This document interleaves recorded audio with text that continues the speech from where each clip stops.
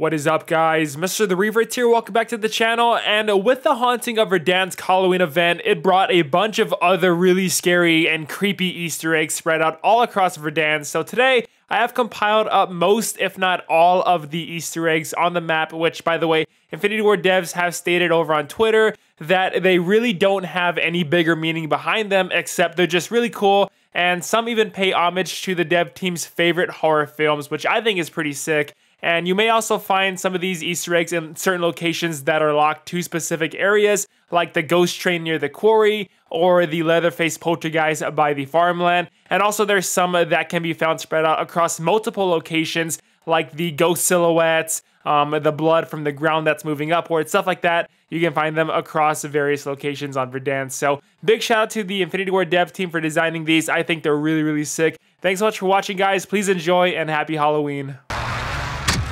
Kashmir.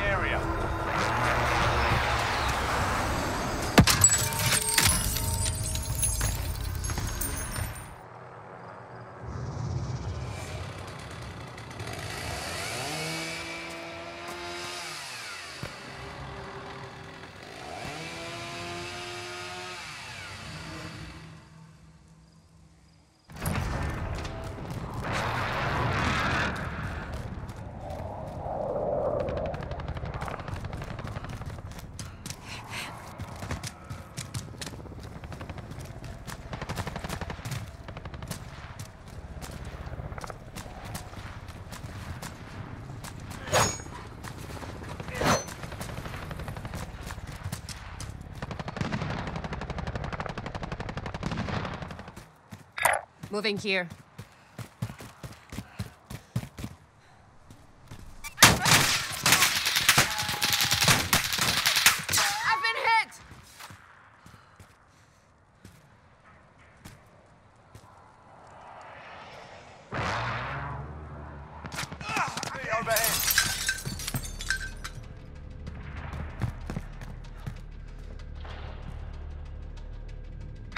On the move. UAV overhead.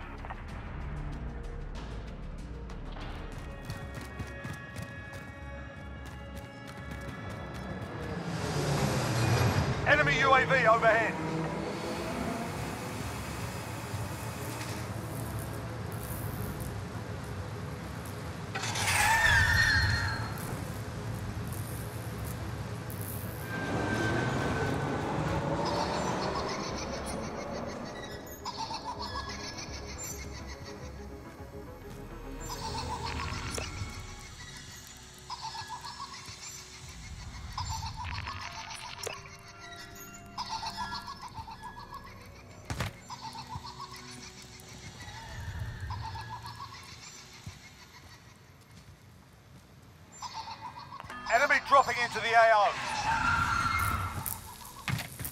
Enemy UAV overhead.